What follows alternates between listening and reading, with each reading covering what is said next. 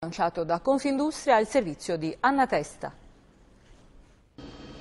I finanziamenti pubblici previsti nel decreto Sblocca Italia sono orientati prevalentemente in favore del centro-nord. Su una quota di circa 7 miliardi di euro solo il 19% è destinato alle regioni meridionali.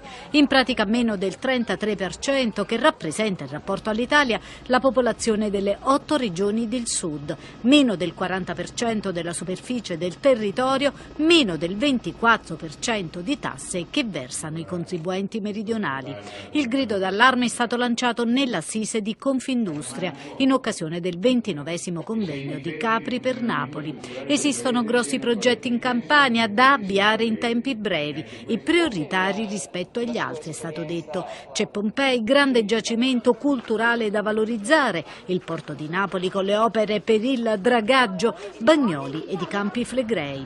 A condensare il senso di dati è il rapporto Svimez, l'associazione per lo sviluppo del dell'industria nel Mezzogiorno, che parla di Sud fermo che continua a perdere competitività in maniera drammatica.